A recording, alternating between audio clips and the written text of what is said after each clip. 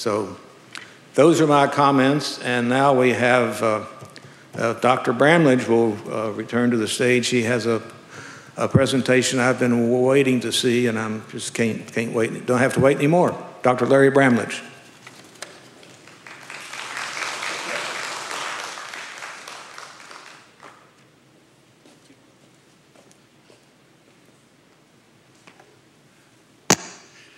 Well, thanks, Ed. Um, some of you may, some of this is a repeat or maybe an integration of what I talked about last year uh, as far as Bone's response to training, only I'm going to try to go into a little more depth. Ed asked me the question should we be training in both directions? In other words, the, do we pay a penalty in the US for training horses only left handed? Um, and the answer is maybe. Thank you. It's been nice being here. Uh, now I'll try to go through what some of the evidence that exists, and it probably does make more makes some sense, but it's not, not an absolute thing. This is what I was talking about. I put these in because I figured we'd be talking about this in the um, uh, as far as durability of the horse and our old horses.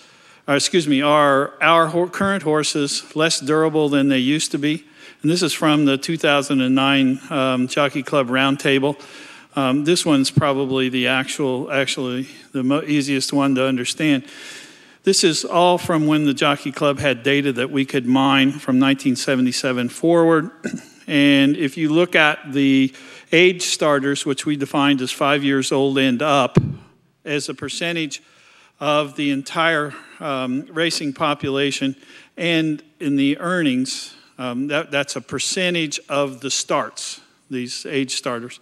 Um, it runs about 30%, it doesn't change through the whole time. So, good, productive older horses stay productive and they stay in the racehorse population. Where, where they get weeded out is that the, the young horses we don't have and we can't have as much patience as maybe once upon a time we could have because racing's purses and the cost of racing horses is in such a mismatch, especially when you start talking about comparing the 1940s and 1950s when it was the purses that was the goal. And Todd spoke of this essentially breed, uh, racing to breed. In addition, the percentage of the foal crop to race is climbing. So in the early 1980s, the, the, when the foal crops were in the 50,000 and a higher percentage of them racing, and essentially the pipe that we're squeezing them through which is the number of racing opportunities times the number of starters in a race, um, the average field size has only varied one horse since the 1950s. It's gone from um, about eight horses to field to down to about seven. So we're trying to screw, squeeze a bigger crop through a smaller pipe, through the same size pipe, and get them out the other side. And the ones that fall fall off the edge are the ones that aren't productive. If they're good, productive racehorses, they stay in the population and keep racing. So, so much for that. Now, the lesson on bones. Bone was once thought to be inert, and actually, whenever I went to school, some of the histopath we took as a sophomore, we learned that um, a bone was relatively inert substance. But it's anything other than that with the racing thoroughbred. Now, the skeletal phenotype, that's what the horse looks like when he's born and grows up without any influence, is, is similar, and that is you recognize a thoroughbred from being not a draft horse. But the refinement and the biomechanics in the racehorse, what makes a thoroughbred racehorse so good is he can actually make his skeleton into a racehorse skeleton. Now, it's probably not unique to the thoroughbred. If you trained other um, breeds in the same way, you'd probably get the same thing. But how does it occur? Well, there's two cell populations, and I, I want to apologize to Jamie MacLeod. If you need to get out your airsick bag for what I do to uh, the basic science of bone, he's he's so far over my head. But I'm going to try to interpret it as a surgeon would interpret it. In that pink slide up there, you see the surface of a bone, and that layer of cells are osteoblasts, and they produce the substance of bone, and then they get trapped in it. And when I was a student, that's as much as we learned. The, the, the Blasts become osteocytes and they're trapped in the bone and they live there for the rest of their life. Amen. It couldn't be farther from the truth. So the question is is the osteocyte a prisoner or a director? As it turns out, the osteocyte is actually the director of what mostly happen, happens inside bone. And the way that occurs is in, in that picture that's gray, the gray is the calcified, uh, I'm sorry, the brown is the calcified bone, and the osteocyte is pictured in the middle. It has all these projections. And the green picture, if you digest all the bone away, that's what the osteocytes look like talking to each other. And the key are all those processes that stick out from each osteocyte to another osteocyte, and they all communicate. And if you cut them off from their communication, the bone starts to remodel really aggressively. If you leave them intact and you overload the bone, they'll add more bone. They direct the situation going on. Um, there, here's a slightly different picture. The canaliculi are those uh, canals in between where the dendrites ta- uh, connect all the osteocytes. It's a re- real orchestra, and not only does it control the bone, but it controls the calcium levels in the horse. And calcium is real important. It, it has to be controlled within small levels. And you can imagine the amount of surface increase from all of those um, dendrites that are sticking out from each cell to where if you need cells, if you need calcium, they can digest it very rapidly and make it available to the circulation, or they can lay down bone. Those dendrites sense mechanical loads and they allow the rapid dissolution or formation of bone in response to systemic needs. Now, if you look at the picture that's on the left hand side, you'll see uh, drawn around the margins of those um, little um, lacunae that the cells are within they can add bone or subtract bone in that location quickly. And that increases the density of the bone. The brown circles are what are called um, secondary remodeling canals. And those brown circles are newer than the white bone that they're involved in. I'm going to talk some more about, about that here in a minute. Now, bone is a composite material, but the compression load is resisted by the crystals and it's a hydroxyapatite crystal, and so it's subject to a lot of the laws of physics that other crystals are. If you look at the pink picture, the really dark pink picture is old bone, the light pink is new bone. So it moves from a less dense, dense substance to a more dense substance over time. And then again, you look at the, at the picture with the brown circles, those are secondary remodeling canals that have cut through old bone and replaced it. They can actually cut through damaged bone and replace it with normal bone. And, and that picture up there in the blue shows the cells in their job. The red cells are cutting holes through the bone, and the blue cells behind it are filling it in. Now, bone's not formed directly. Um, osteoblasts form osteoid, and then they secrete the minerals that causes it to mineralize. So it's not instantaneous. It increases in density over time, and we get to talking about two year old shins. That's important. So bone can become stronger and less ductile over time. stronger is a, is a good thing. Less ductile means it's stiffer. Um, it's stronger, but it's more s- subject to uh, biomechanical loads and stress fractures. Now let's stop for a minute with the osteoclasts. Those are the bone eaters.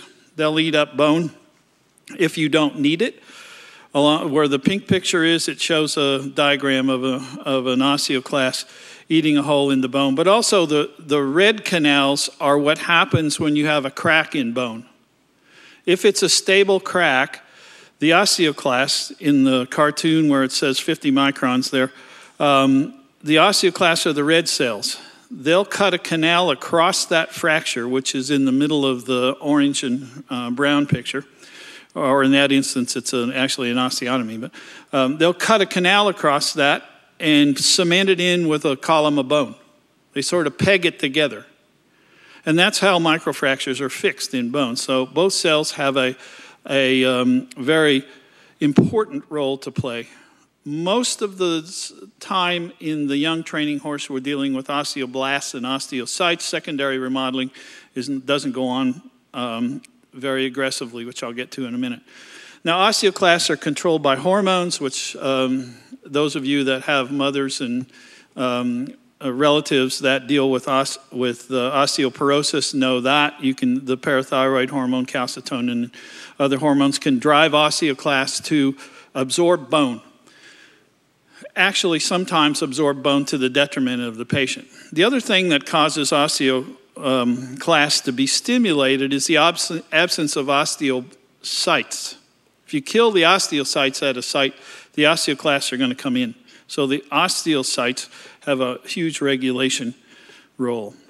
Now, options for increasing bone strength in response to training, you got modeling and remodeling. Modeling's easiest to understand. That picture on the left is the right hind cannon bone of a thoroughbred um, two-year-old, no, actually three-year-old, um, that we cut in half and, and looked at it for I don't know what reason we, uh, we were looking at it. But the thing that amazed me was the clarity with which you can see the modeling of the bone. The horse actually produced that bone to best neutralize the stress that it saw.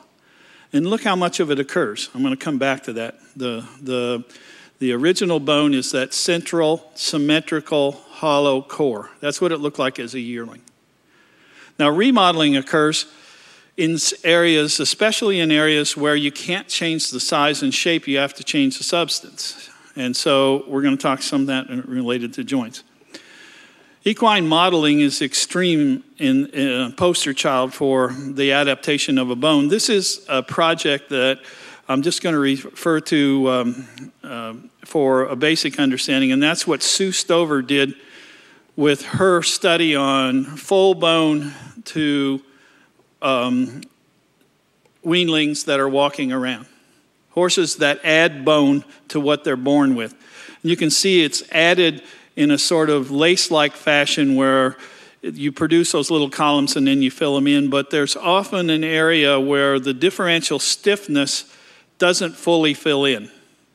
And that's those dark holes. Um, I, I, don't, I should have been smart enough to bring a pointer, but I wasn't. That has to do when we come back to talking about training left handed. I'm going to come back to this in a minute. So, remodeling in the normal situation in you or I, the remodeling is going on by secondary osteons all the time. But if you, when you get in a real heavy stress situation, remodeling will slow because you can't afford to take bone away. And the horse switches only to making bone or primarily to making bone. Therefore, in periods of high stress, when the osteoclasts are turned off, it creates an exercise debt. In other words, you're going to get little cracks in the minerals of the bone, which we'll, we'll talk about in some detail, and they'll stay there until the horse has the opportunity to heal those. In essence, they have to remodel the bone. If you, it's not Uh, exactly healing, but cutting those cutting cones across the crack and reinforcing it is what needs to be done. So at some point, the debt has to be erased. If not, the bone's going to fail. Here's an area, here, here's an example that shows how efficient that is in many instances. Here's a condylar fracture. See, we put it back together. The second picture is intraoperative. The third picture has screws in, but in spite of the fact that we've compressed it to where the fracture um, disappeared on the radiographs, what actually happens is you have a little crack you can't put all the hills in all the valleys perfectly. You can get good enough, it looks like it on x rays, but at five months, you see that um, there's a, a white line where that other arrow is, and that shows where the bone is filled in new bone. Now, once it gets filled in, here's the two month picture on the left hand side, which shows it initially getting filled in. Then those orange canals start cutting across there and changing it back to normal bone. Um, that the canals are cutting through cortical bone up there where I'm showing you, and I'm showing you a cancellous bone, although the distal cannon bone is almost cortical. Um, and, and the top right hand uh, picture is a little different. So, why is all this important? It goes to understanding why a horse gets lame. Lameness is, not, is a sign, not a disease. And that's the one problem we have the most difficulty um, getting some trainers and owners to understand. Lameness is a sign that something is going on. It's not the disease itself. Now, from, from their perspective, it's the disease that's keeping the horse from performing. But you can't lose sight of the fact that something is causing lameness. And so, what, what causes pain? It's inflammation.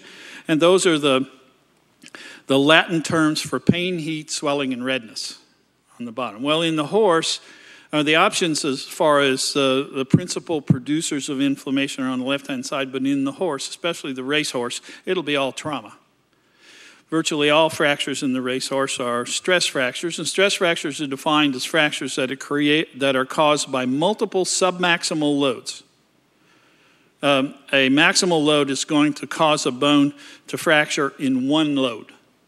And when that happens, especially in a horse's bone, they will explode because they're so strong that they store so much energy that when the fracture occurs, they just explode. So most of the fractures we have in racehorses are stress fractures. Repetitive cyclic stress to the skeleton, the skeleton is a primary cause of lameness, and the, it's also the driver of the remodeling. You have to do damage in order to make the skeleton stronger. And getting that right is sort of like uh, drying your clothes with a blowtorch. If you get it exactly right, it works good, but if you overdo it, you burn the clothes up. So um, that's kind of a trainer's job. High speed exercise in history and catastrophic racing injuries in thoroughbreds. Um, this is Leah Estberg's um, paper, and I cited this last year. So the short uh, that in that study that they did, horses that had accumulated a total of 35 furlongs of race and timed work distance in two months compared to a horse with 25 furlongs accumulated had an estimated 3.9 or four times the likelihood of a catastrophic injury.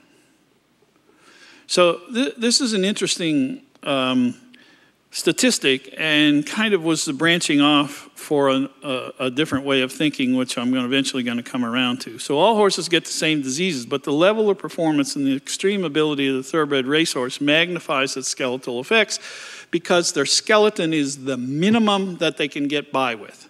That's why they're fast.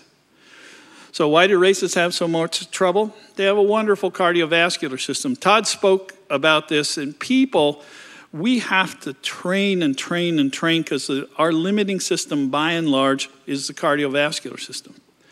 The, in the horse, it's the musculoskeletal system. First of all, because it's very slight to begin with. It's nowhere near what they need to race. It requires the most training of all their systems and so therefore sustains the most wear and tear. It has to literally be modeled into a racehorse skeleton. So starting from zero, in, in that picture that's in the lower right hand corner, which I'll keep coming back to, that horse started with that perfectly cylindrical hollow bone. And, and he got to the bone that was most efficient for its job. And, and this is a hind leg and we always talk about front legs, and I'm going to show you some x rays, mostly front legs we deal with in the clinical disease, but look how much adaptation a hind leg has to make as well. And the hind leg ends up almost triangular as opposed to the front leg ends up oval. And that's because that's what they need.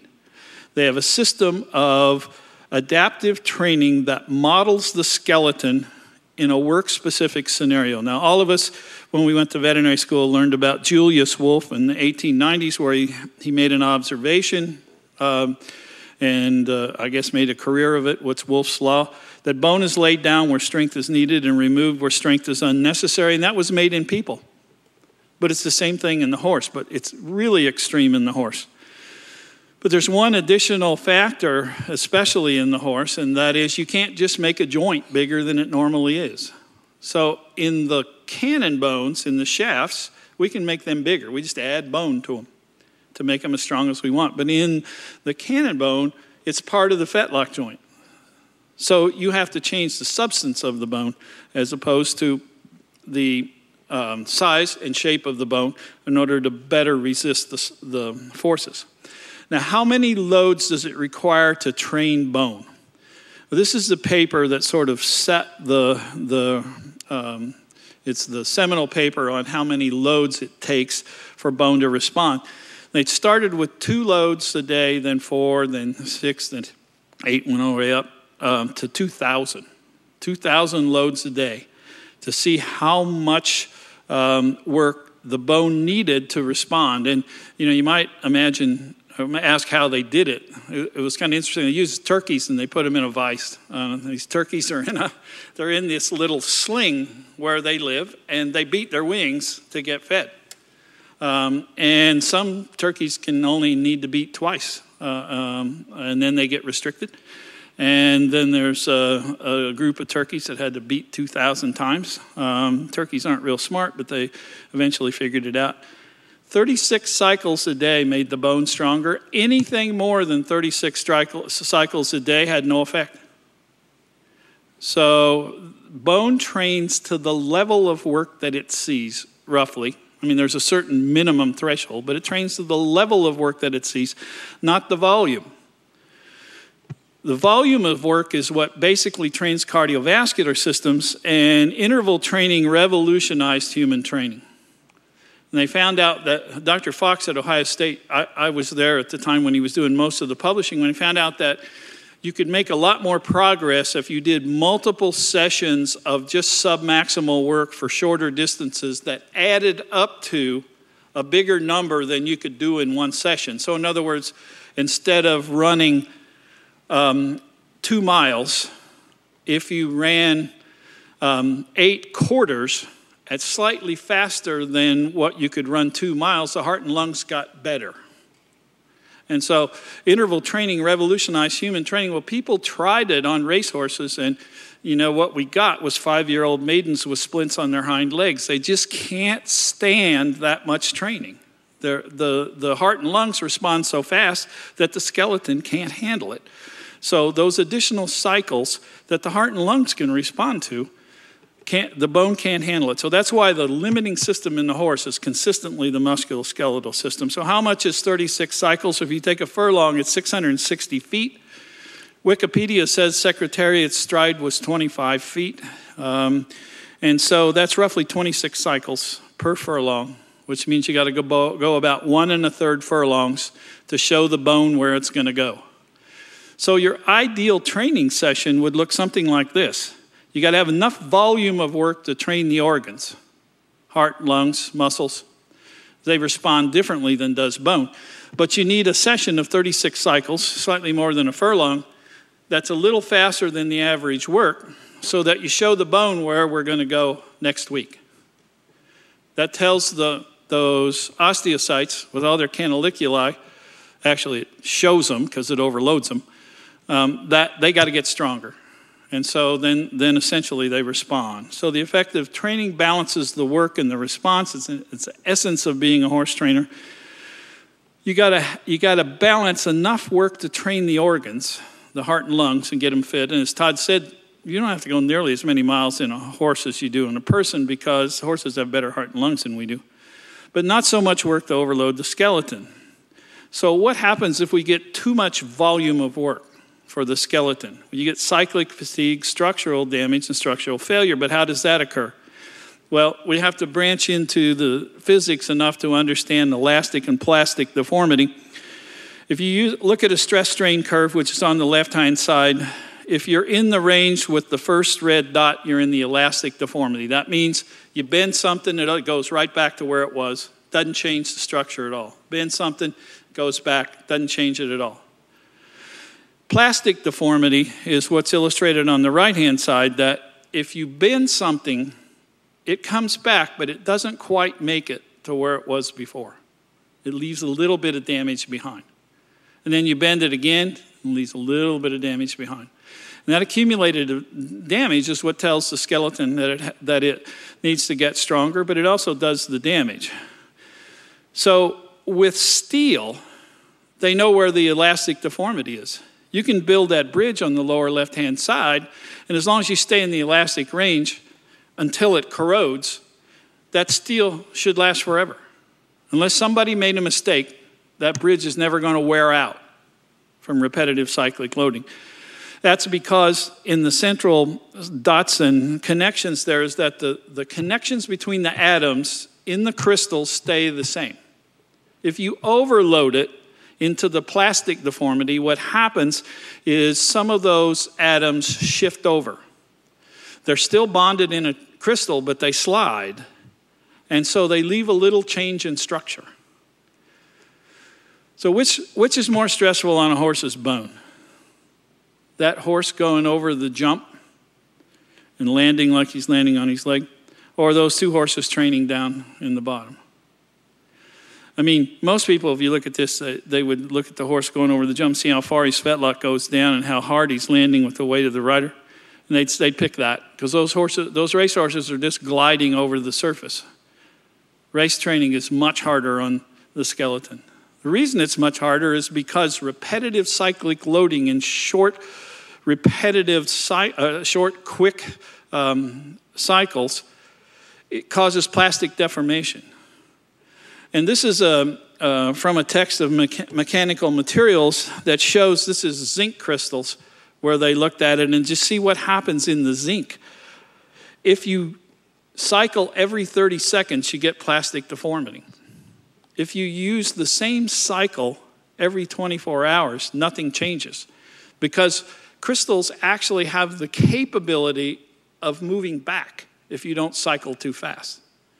So you sort of know that if you take a piece of wire and you can bend it very slowly. And if you bend it once a day, you can go forever. But if you bend it quickly, it starts to heat up and it breaks.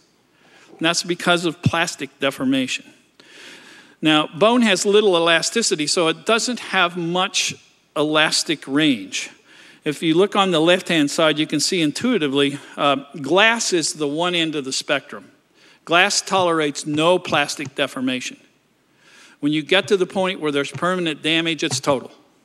It just breaks. So it, it's totally elastic. Yet you can keep glass in a window in the, and the, in the big buildings, and they'll blow back and forth continuously for years. The glass doesn't break because you're staying in the elastic range. But as soon as you get in the plastic range glass, it breaks. The other end of the spectrum is rubber. This is a stress strain current. Stress is the amount of um, energy that's stored within the structure, and strain is defined as the change in length per unit length, meaning how much can you, allow, uh, can you stretch it. Rubber's at the other end of the spectrum, and it, it, it's virtually totally elastic. You very seldom get into the plastic range with rubber. So copper's in between there. Um, steel, there's an interesting hump in the steel. We use that with surgery instruments. It's called cold working. If you work steel, it actually makes it a little harder. The initial um, set of plastic deformity that you do, the steel will sort of consolidate and you can put a sharper edge on it. And so cold working steel actually helps you for a little while until you get over the top of the hump and then it starts to plastically deform. But bone elasticity is about 4%. 4% strain, it begins to get into the plastic deformation stage, so it's got very little plasticity. So, this overload of repetitive cycles in a short period of time causes this progressive step up in damage. And this result, results in increased capacity because it causes that right hind shin to move from that little cylinder to that, oval, to that triangular shaped bone, or in the front leg, it'll be oval. And the director are the osteocytes. Now, I showed this last time. Um, training is the process of overload, over repair, overload, over repair in manageable steps. It's steps that are manageable by the bone. It actually is the same thing applies to the heart, muscle, uh, uh, heart, lungs, muscle, whatever. Yeah, the, the, the efficiency increases, and eventually, in the skeleton, we get it to where it's the right size and shape for the horse, and then he can race.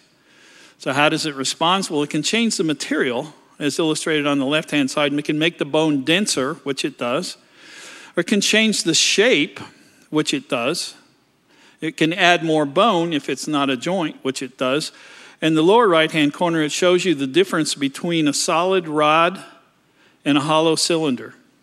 If you take the same amount of material in um, example A and make it into a hollow cylinder in example C, it doubles the strength. Same amount of material. So it's no accident that bones are hollow. That's structurally the best design. Here's the thing that Ed was talking about with David Nunamaker saying about standard breds are different than thoroughbreds.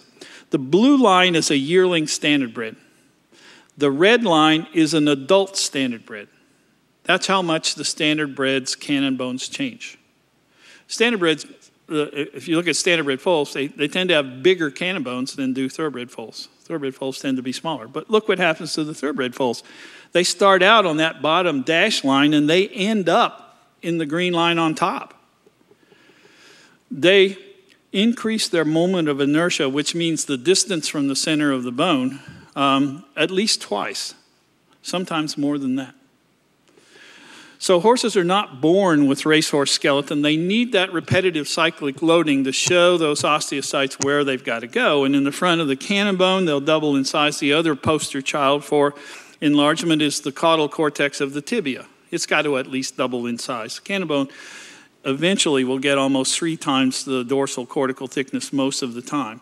So in the shaft, it increases the size and the amount of material. It has that luxury. Um, here's an example. This is a foal that had a fracture that I put plates in, and it was a quarter horse show horse. In, race horses, you have to take the plates out if you put them in. If you don't, they'll get lame because the elastic modulus of stainless steel and the screws connecting the hollow cylinder of the cannon bone front to back will make the horse lame when you reach race speed.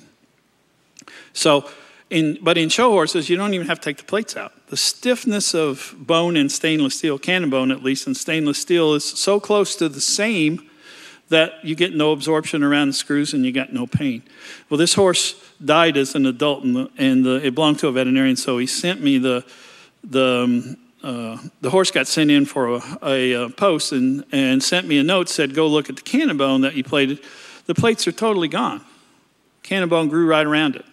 But the interesting thing, if you'll look at it, look at the screws in the back cortex.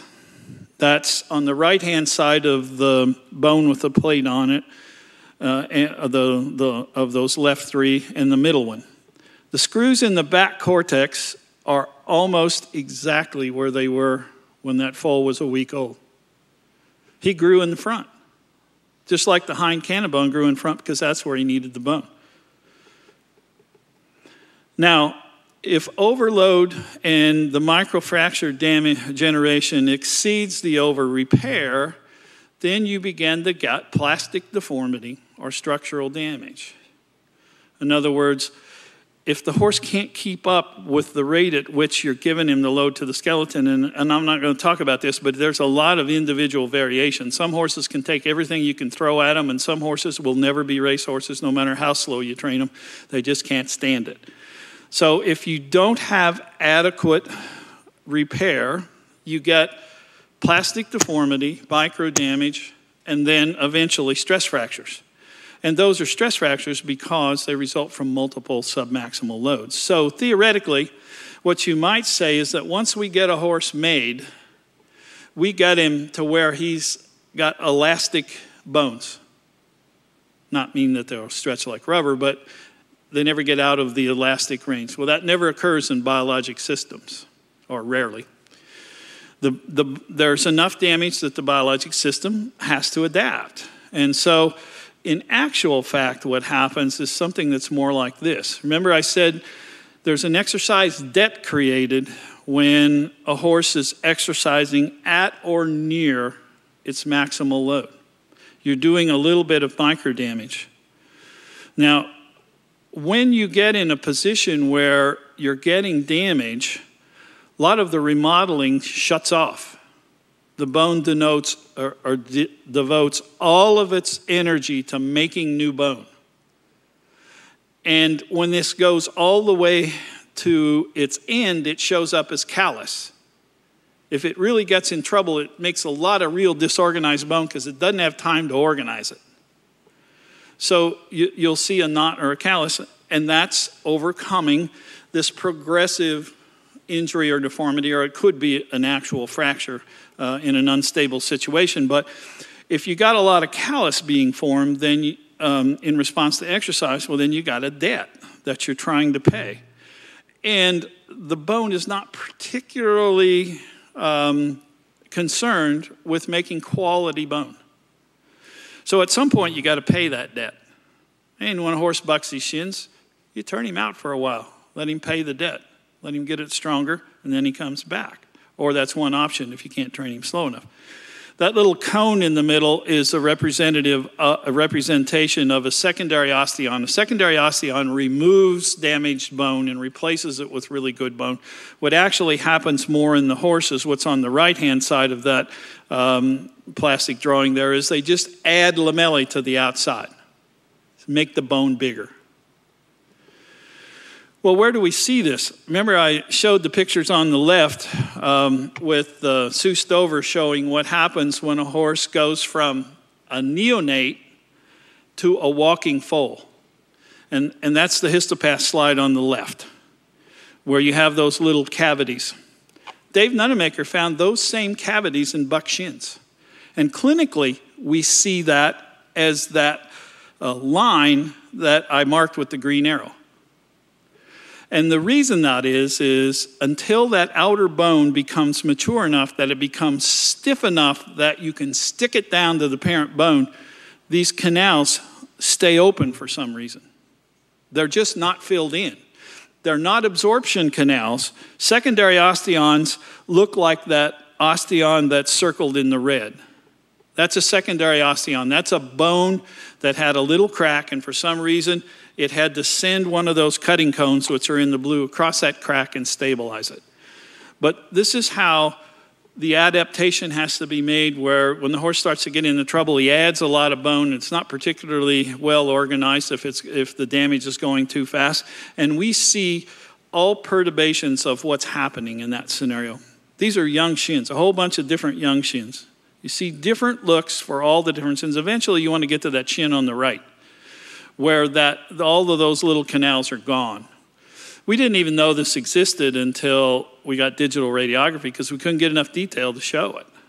But for most really active shins, where they're uh, tender on the surface, but the horse might not be lame, this is what it starts out as. This is what I mentioned when Ed was talking about the two year old training.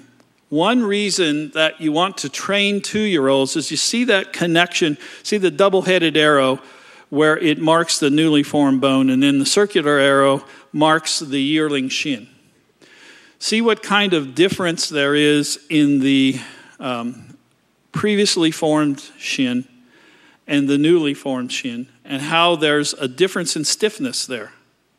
Because the density of the newly formed bone is never as, as dense as the old bone unless you make it very slowly to where it can calcify that fast. If you pick up a horse right at the end of growth and convert those cells in the periosteum from responding to the genetic template to responding to training, you don't get that separation between. There's not as much difference. You can tell this horse matured before he started training just by looking at that division between the mature bone and the new bone. You don't want that to happen. That's why you have, you have all the cell population and the blood supply in a growing horse that you don't want it to atrophy. Because as soon as he stops growing, it's going to atrophy. You want it to stay so you don't have to recreate it again. When you recreate it again, you get a differential stiffness in the, in the two components of the bone, and that's where it shows there.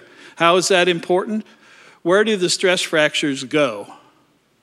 They usually go through the, they actually usually go through the intermediate bone and either break out through the front where they become clinical or eventually, um, I forgot. I'm going to come back to this when I get to talk specifically about uh, should we train right handed or left handed. The stress fractures will go down to that lamellae and then they'll tend to turn and go up the bone because there's a difference in stiffness and it's easier to propagate. So, cyclic fatigue results in work specific changes, and we always train left handed. This forces training on the left lean in the turns, and is there evidence for structural overload from this practice? That's the question Ed asked me. Perhaps in condylar fractures. Perhaps not. Uh, uh, this is the condylar fracture is, is a real interesting injury to me. I mean, it's the one we see the most often. The place the horse has to make the most ad- adaptation. So, in summary, it's exercise induced. It's an accumulation of stress in excess of repair, and it prop- the propagation depends upon the, the post-op stress. The numbers I'm going to show you are from these two papers that we published in EVJ. I don't know, uh, 1999. These are the age of the condylar fractures that are in the study. You can see they roughly represent the training populations, but the older horses have a little less trouble, but they're not immune to it. They still create exercise debt, um, as we spoke about. The fracture locations are what are important to us because if we want to answer the question, is there a detriment to left hand training? Because that means are we repeating the same stress in one direction in excess of the other direction? So we looked at fracture locations, medial and lateral, right, left. There's not a statistical difference there. But look at this difference.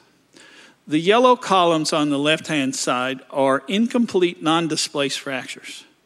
By and large, the left forelimb gets incomplete non displaced fractures, less severe, easier to treat. The right forelimb, they usually displace. They're much more severe fracture than happens on the left forelimb. Now, they're under the same general mechanical loads, and I think this has to do with the force that creates the fracture. So, what about in England? What happens there? Because they don't train left handed. Well, this is a paper fairly recently from um, Peter Clegg's lab and Tim Parkin, who has done a lot of work for the Jockey Club. And the important sentence there is the, that, that the catastrophic condylar fractures affect the right forelimb in England twice as often as the left forelimb. Now, you always have to look at the English data, and this has a bunch of steeplechasers in it, so that's why I'm, I don't know whether that really is translatable to our scenario or not, but it's certainly not a black and white England to the US. Now, here's why we think the right is a, a worse fracture. Watch this horse come around the turn. This is chestnut horse, he's on the left lead. Watch the right limb plow into the ground, and then the lead limb, the left limb. If you look at it, for the most part, the right limb always plows deeper and sheds up more um, dirt on this dirt track than does the left limb. The right limb, uh, uh, a splash for, for lack of a better effect, the splash is higher consistently when they're doing this. And it's also the same in the hind leg. If you play that over and over and watch the hind leg um, go, the right hind, which is the first end of the track on the left lead, is going to splash higher than the left lead. Okay, he'll run off the screen here in a minute, and I'll, I'll talk a little bit about the mechanics of of why that occurs when a horse is training. It occurs naturally in relation to the surface that the horse is working over, but it also, we can alter it with shoeing appliances and with the surface of the track. And this is why. Now, this, these limbs are stick drawings of the horse in the top, um, showing where he's galloping roughly. And the fetlock and the coffin joint are essentially reciprocal angles. That means if you change one, you got to change the other. And the reason that's true is because vertical is vertical and horizontal is horizontal, and the horse has to carry the weight over the ground. So if he's going to carry the weight over the ground, and he's got to have a vertical weight bearing force, like you see on, on, the that's the non-lead leg that's carrying the weight there um, in the picture. When you see on, on that limb, if you change his coffin joint, you got to change his fetlock joint too. Because per, vertical is always vertical. You got, to, you got to resist gravity, gravity, and we hope the surface of the track is virtually flat, which uh, effectively, um, in the plane that is 90 degrees to gravity, it should be. So the effects of an angle change are significant. If you increase the flexion in the coffin joint, you have to increase flexion in the fetlock joint. The horse doesn't have any choice as long as he's going to keep moving forward and carry his weight. So the more you change one, the more you change the other. And what happens in the fetlock is you start dropping the cannon bone further and further. It increases the amount of flexion, so that's going to increase the load on the suspensory apparatus. And the deeper he digs into the surface, the more that effect. So the plow down of his toe affects the angle of his coffin joint, which affects the angle of his fetlock joint. That's why most of the injuries are in the fetlock joint. And why a toe grab doesn't affect the coffin joint but affects the fetlock joint is roughly this. If you increase the baking, braking power of the plow down, now fatal injuries in, in Sue Stover's summary paper that um, Ed cited, it's 50%, but fatal injuries in other studies are as high as 95% if you include ruptured suspensories, ruptured distal sesamoidian ligaments, fractured sesamoids, condylar fractures, all of those that are related to the suspensory apparatus. There's a huge amount in the fetlock joint. The increased braking of the forelimb increases the, the flexion of the coffin joint. If you add a toe grab, especially a big toe grab, it's going to plow harder. That plow tends to turn the coffin joint down. And then that affects the fetlock joint in return, and then the, the, the suspensory apparatus is loaded heavier than it would be if you didn't have that situation. This horse is, uh, you can see the white arrow there pointing to his right forelimb. He's on the left lead. The right forelimb plows more because the horse's weight's behind the limb whenever they're going into the ground. On the, when he gets to the lead leg, he's already over top of it. And, and that's why you can see a difference on the high speed cinematography and the things that affect the plow down. If you increase the resistance on the front of his hoof with a toe grab, it's going to tend to turn him down. The stiffness of the surface has an effect, and the length of the slide or the ability of the material to a, a really loose track, they're going to plow a lot deeper because they can go farther. There's not as much resistance. This horse is trotting, um, and I just caught him on the uh, artificial surface. And you can see artificial surface doesn't plow very much because it has a lot of substance to it. So it's a lot different on dirt. There's another horse. Uh, this is um, a dark bay horse this time. And he's on the same lead, going around the same turn. And you can see again that he's hitting with the right forelimb with his weight behind the limb. And he hits on the lead leg largely with the leg over top of the limb. So I believe that's the explanation for why, at least on dirt, I don't know why, um, the English data um, shows that the, their right forelimbs are more common either. Maybe, maybe this has nothing to do, and maybe I'm lying to you, but the mechanics will drop the fetlock farther on the right forelimb and increase the load. Our knowledge of this disease is greatly improved. We used to only take the x ray on the left, but now we know if you, if you see the white spot on the left x ray between the sesamoid and P1, that's where the heavy load is. That's where the load increases whenever the horse plows into the surface. It increases the load on the fetlock. So you got to take the view on the right in order to see where the action is. And Mary showed this um, uh, in a cadaver horse on a normal leg, but this is a horse getting a fetlock arthrodesis because he ruptured um, both uh, sesamoids he has a perfectly normal, and we saw off the condyle as part of the surgery, but what was interesting is he has a perfectly normal looking cartilage joint surface, but he has a bruise in the subchondral bone. When I took the cartilage off, in the picture that's on the top right, you can see that, that bruise. Every thoroughbred that, that I've ever fused where we use this approach, if they've raced for any period of time recently, it, it doesn't apply to brood mares because they've already paid their debt. Recently, they'll have some change like this. And then that change results in the bottom right hand picture where you see the little wedge shaped piece of bone that occurs there. And then that, that, that progresses up the bone into the condylar fracture.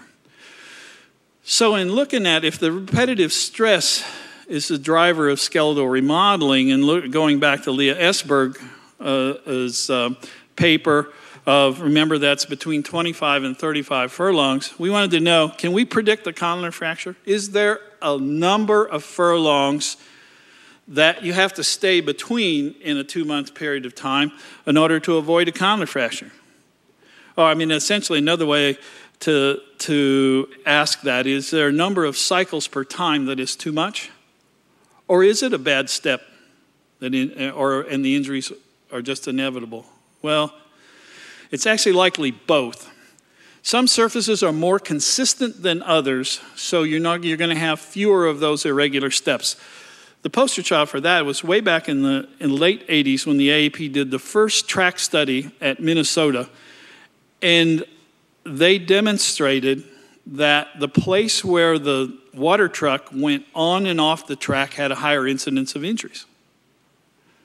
They also demonstrated that the place where the water truck drove around the, the um, oval and had its booms out to the side, it'd be like about the four path um, on the racetrack, is harder because you're packing it consistently with the water truck, and that led to the water trucks with the long booms only on one side, which actually drive out.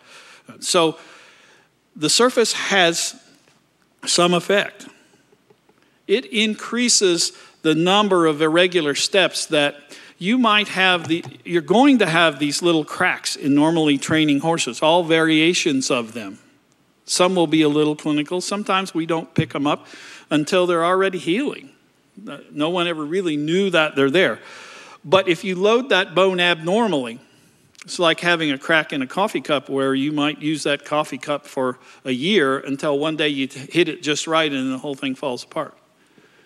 If you hit it just right, the, the, the crystals in that um, uh, cannon bone are going to be vulnerable. The energy it takes to fracture a normal cannon bone is huge. I, used to run the, the AO course at Ohio State, and we had the frac. We now use plastic bones, but we used to use um, regular cadaver bones, and we were wanting to do an exercise on cannon bone fractures. So we had to fracture a bunch of cannon bones so that the participants could plate them, put them back together. So we went over to necropsy and got some cannon bones, and the first thing that we did was put the put the cannon bone in the vise and put a pipe on it and bend it. Well, we couldn't bend it hard enough to break it, so a couple of us got on it and tried to bend it, and we broke the vise. So then we stuck it in the end of the, there was these big necropsy tables, they got rolled edges on them. We stuck it in there and we tried to bend it in there. Um, we ended up bending the table. We finally got it to break by sticking it in the drain with a towel in the drain and driving over it with a forklift. But the, but the fractures were so high energy that they resulted in a bag of little bone pieces.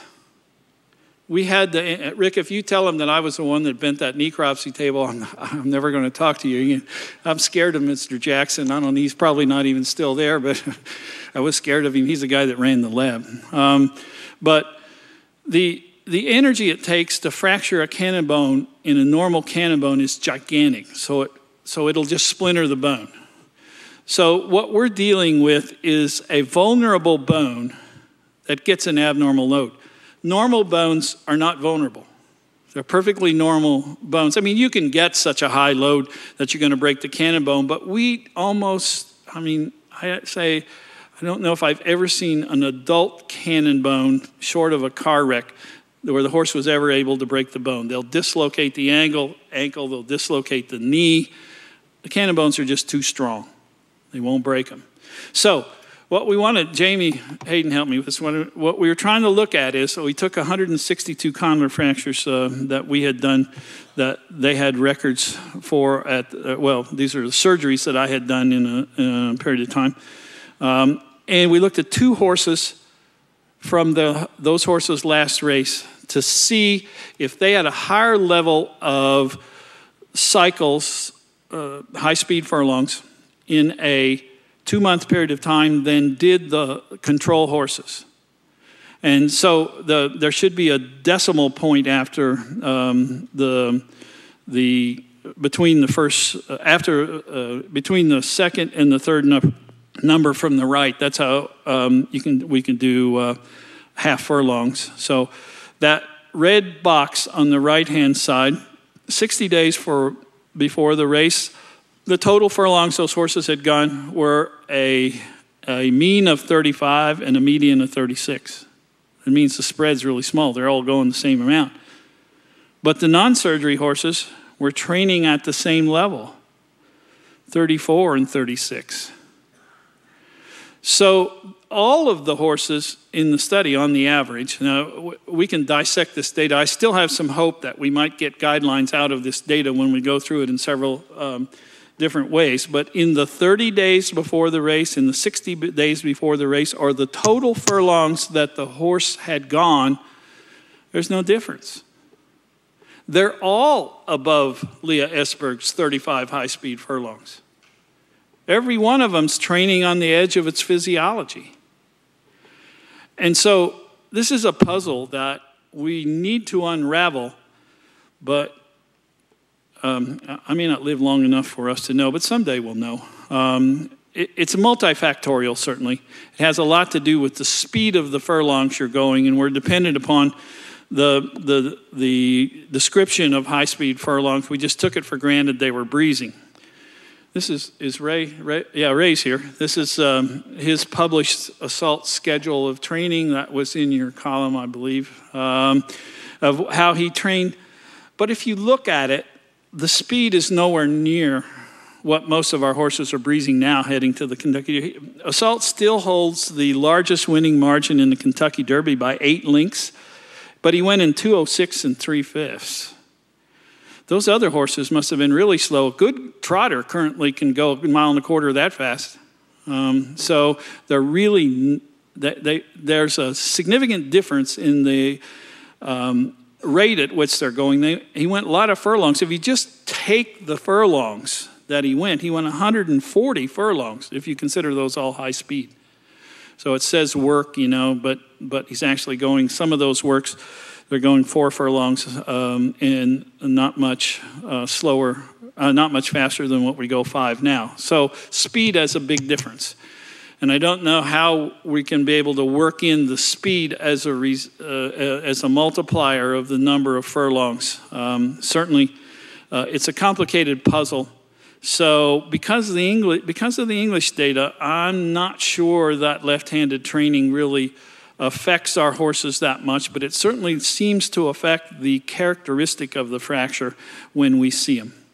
Now, here's another study that we did um, on stress fractures. This is almost exclusively a disease of the metacarpus in the racing thoroughbred, and it's pretty rare when you're on non dirt surfaces.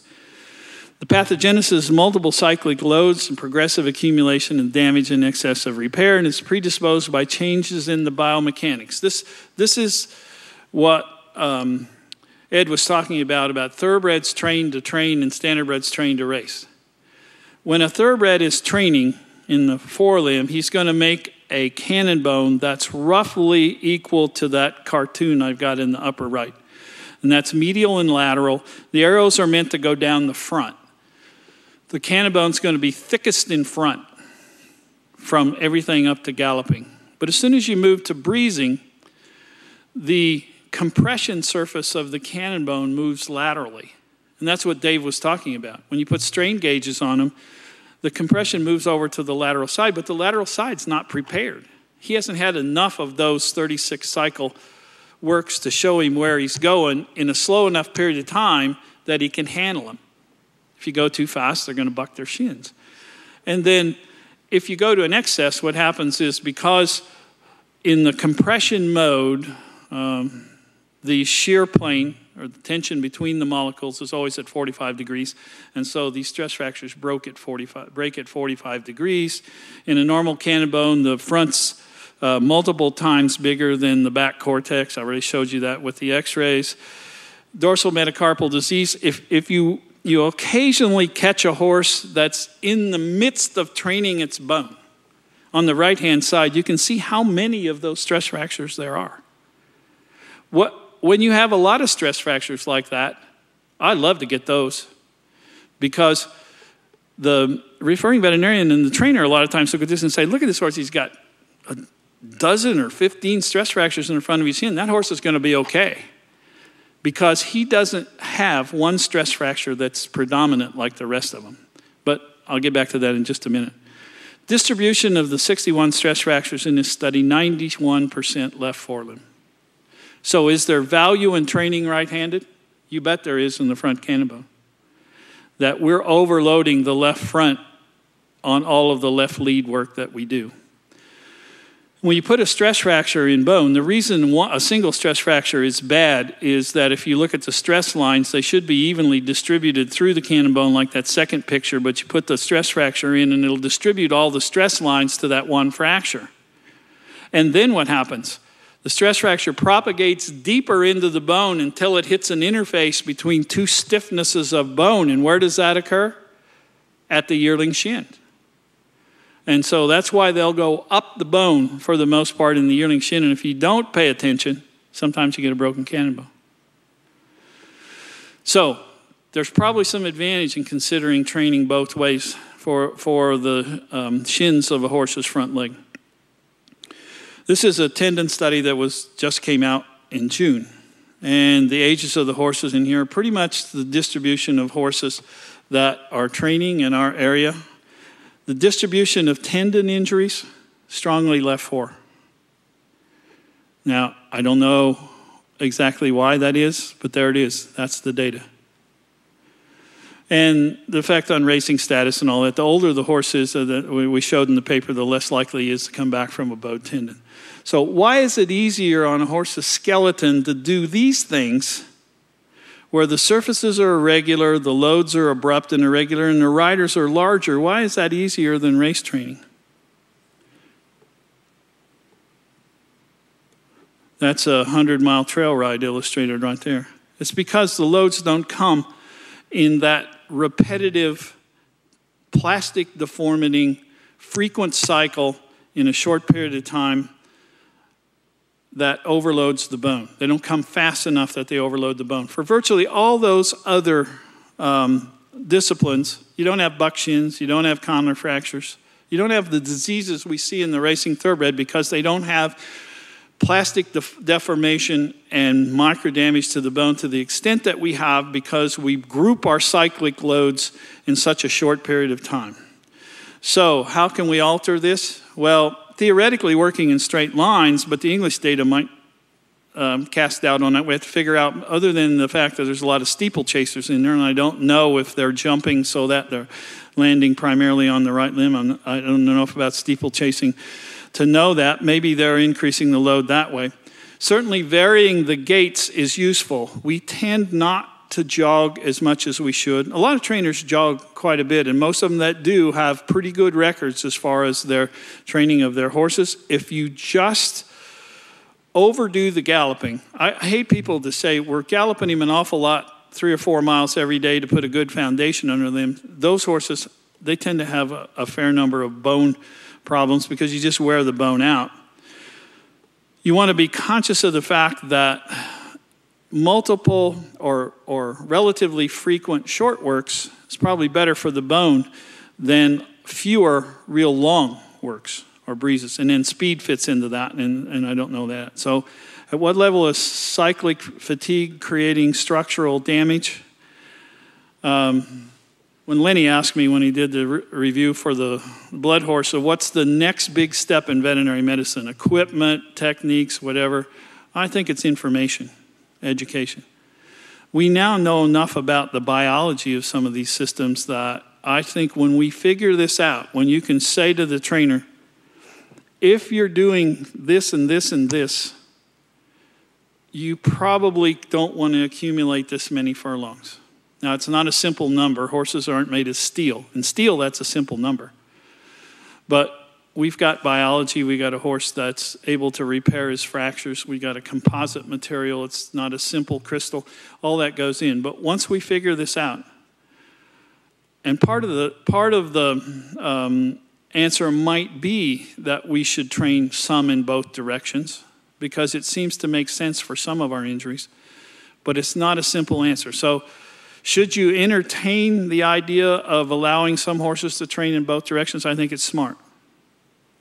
I, I don't think it'll prevent all our injuries, just like nothing pre- prevents all of our injuries. You know, we were going to have no more injuries once we got rid of anabolic steroids. Guess what?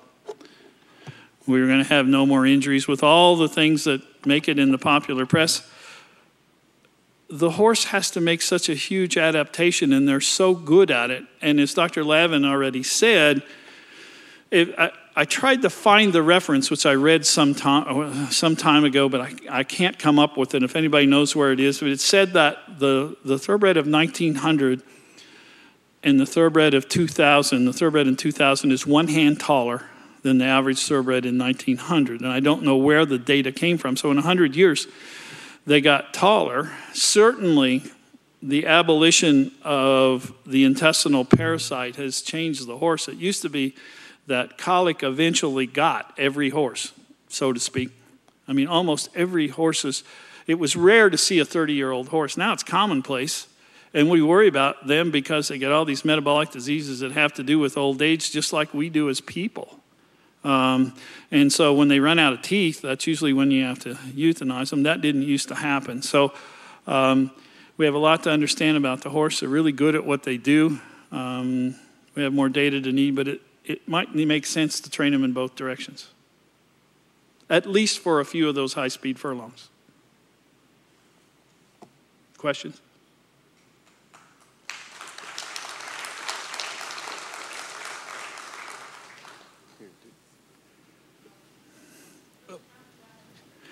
I'm going to wait for the, if you won't mind, I've got a middle ear infection and I can't hear my wife when she talks, so I'm not going to hear you from the back of the room, although she would say that that's a common malady for me.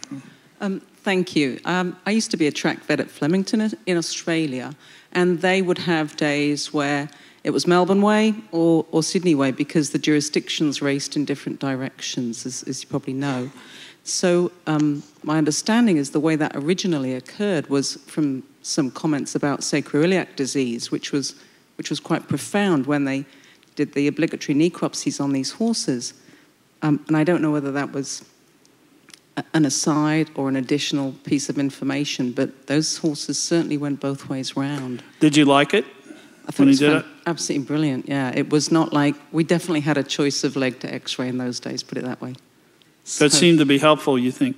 Very, very helpful. And of course, it was flat, so obviously that was interesting. Mm. But going back to your comments about Peter Clegg's data, which I think is really, really poignant, one of the interesting things that might be worth, and I, I should go back and look at that paper to, to know it better, but if the groups are broken down in that paper in terms of flat horses, hurdlers, which are the horses that come straight out of flat training.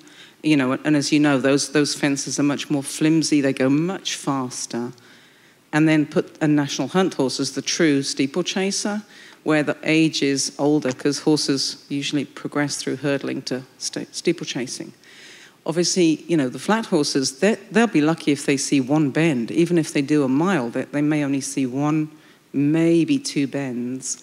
But then everybody else, obviously, obviously they're going to be using combinations of bends on those tracks. And there's certainly, in, in just going through the different steeplechase tracks or the hurdle, the jump tracks, there's a, there's a predisposition for them to be actually counterclockwise. I don't think that they were broken down. There were 75 horses that were in the group, as I, if I remember, and no, I they, think they weren't. Yeah, they were just catastrophic injuries, mm-hmm. which is part of the the difficulty, those are the samples that we get, which is why we were really interested in looking at what about a condylar fracture, which is doesn't blow the whole bone apart, but obviously it got to the level of with it just fatigue, and that maybe there was those horses were training more. But it was amazing when we looked at the data.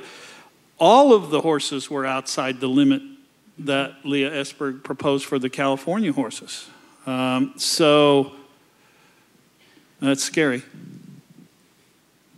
Yes. Since, since the mic's here, I'll take advantage. Um, I think you alluded to this a couple times in your talk. Uh, you mentioned early on the horse that um, just doesn't seem to get through the remodeling and will never be a racehorse. And then I really liked your data at the end comparing starts and uh, speed work in the two groups.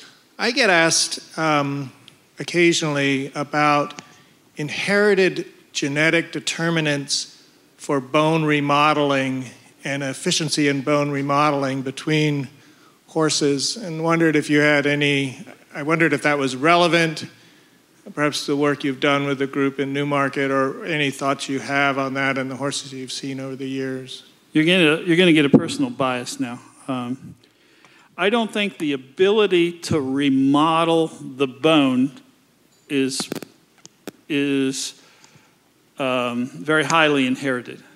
Certainly, there's some families that are tougher than others. I think what the horse inherits is their ability to withstand discomfort and pain. And some horses will go out and train no matter what. And the horses, by and large, that can't make it through the training, they don't have unusual diseases. Those horses, you just can't train them through it. And we used to call it track sour whenever they got to the level of their bones hurt. They didn't want to train anymore, wouldn't get in the gate. Used to load just fine, but now they won't get in the gate because they know it hurts. And those horses don't have the ability to, to train at the level that some horses do. Now, what makes the difference? I, I'm going to name this horse because I named her last year. The horse that amazes me was Serena's Song. 34 starts in three years, never missed a dance, retired with the cleanest legs you ever saw. And she got trained hard and at high level. And you could throw anything at her, and it, it didn't seem to bother him. But then there are some horses that maybe I'm wrong, and maybe there is a genetic um, problem, but the horses that we seem to see lots of problems are don't have outstanding problems, they have outstanding responses to it. And then, so the good horses may be dangerous, more dangerous. They can put up with that disadvantage. Well, you got to know your horse a lot better if you have a good horse.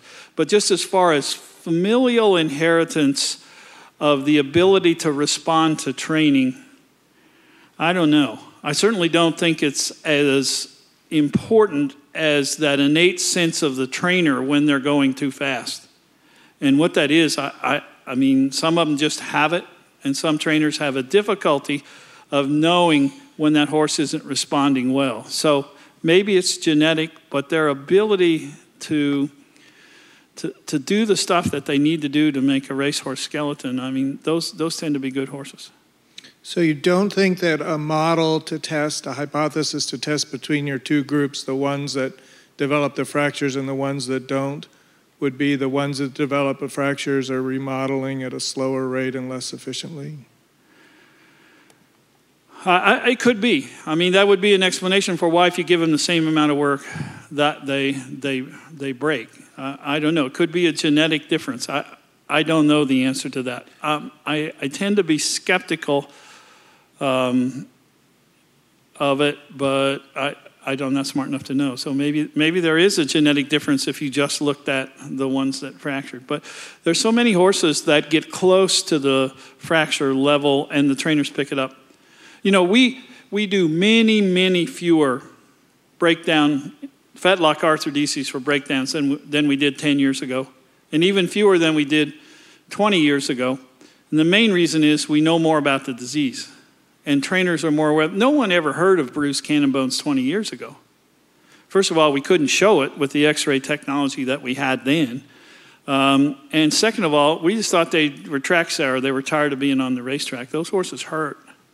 And so, if they're hurting because they're not genetically able to respond as fast, well, that would, that would be an explanation. I mean, it would, it, it would certainly be attractive in some sense. But my favorite gene story is one. Do you all know who Black Ruby is? I'm certainly Rick knows who Black Ruby is. She's a mule in California that for about eight or nine years you couldn't beat her. And since you can't breed mules, they cloned her several times. 11, I believe, was the amount of clones they made out of it. Those 11 clones couldn't outrun me. So they have exactly the same genetic material as Black Ruby, but why was she so good? I think that's the attraction of horse racing. You can't just go out and buy the best genes. Because even if you buy the best genes, unless you do everything else right, oh, that's where's Mary? Maybe that's nurture, I guess. And even if you do everything else right, some horses just are, they have it between the ears and and and Nobody knows what causes that. So.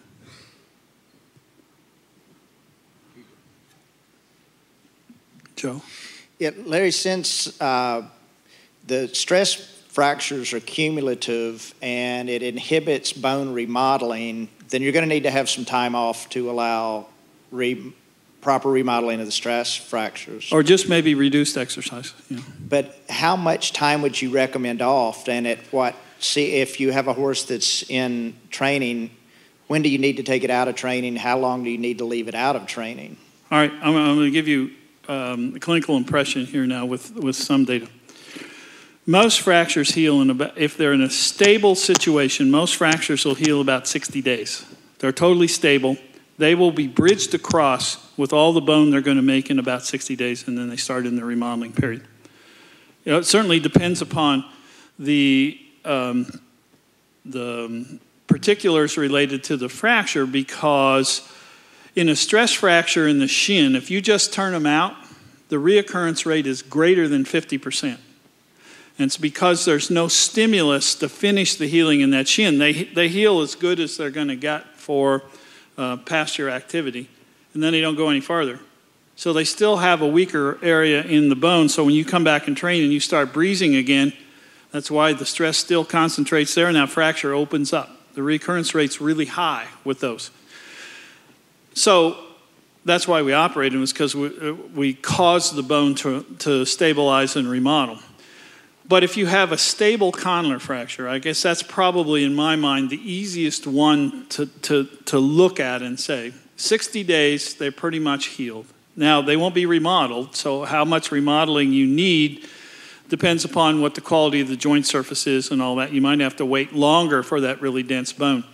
Once you get to 120 days, your incidence of retraining injuries, such as tibial stress fractures, go up. So that has bone has gone far enough that they've done so much um, changing of the shape of the bone. They actually make the bone more porous with a, with a lot of remodeling debt. That, that they've gone so far they make the shins weaker. And Dave showed that with um, uh, Dave Nunamaker with the histopath on his shins. That if you take those horses out of training, they'll make them a lot weaker they, they create a lot of cutting cones across, and so it takes a long time for that. That takes six months or so to get back to the normal.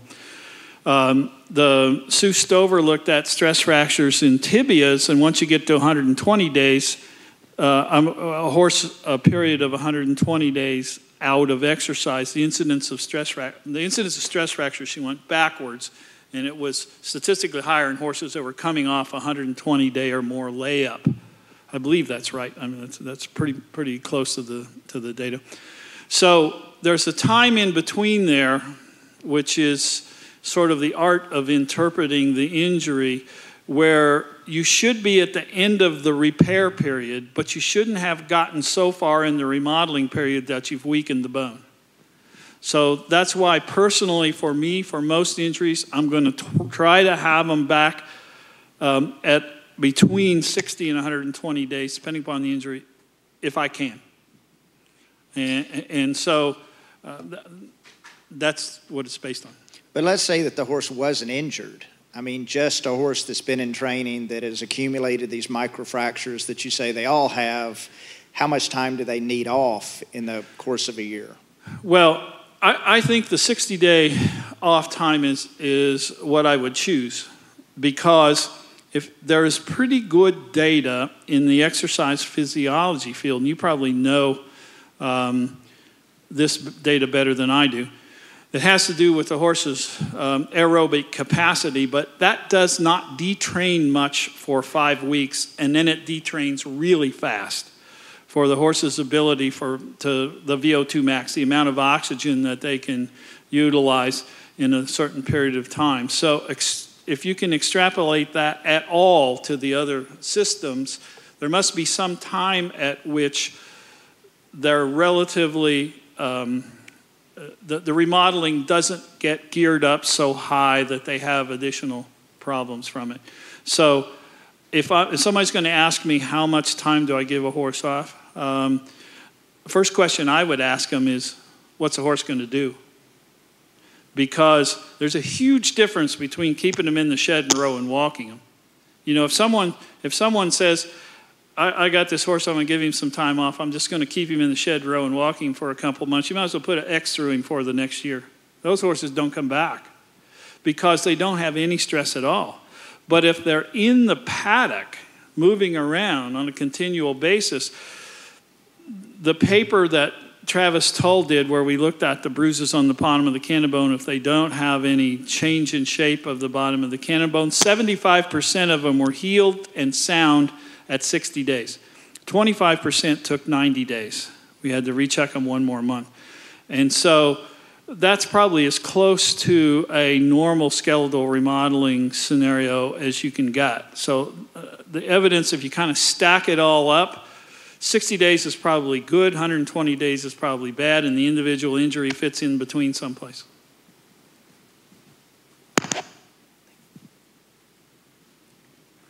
Question on the back row. We over we over time. One more question. Go go ahead. You No, I just wanted to um, re-emphasize your comment there about the sacroiliac um, issues there and the um, backtracking, if you will, here that we use in the states. Um, I kind of have an interesting background both in the racing world and dressage world, and we use a lot of um, trotting work to improve the canter and dressage. At the same time, I worked in some barns where we had the 80, 90, 100 Beyer figure horses uh, that we backtracked a lot jogging. Um, the jogging improves the canter work, improves the lope work. Um, it also helps to improve the horse's way of going. And so I think that there is some um, consideration that should be given to training horses backwards or backtracking, if you will, and training both sides there. Um, I think that there would be some value in exploring that further um, for scientific um, emphasis or reaffirmation that that is good for the horses. So you got two votes for to go open the track.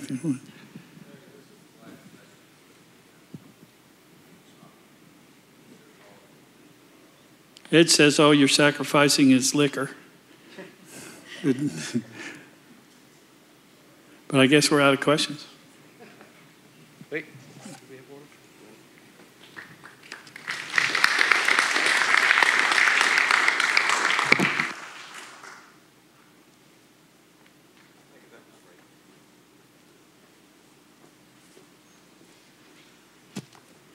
Thank you very much, Dr. Bramlage. That was just incredible.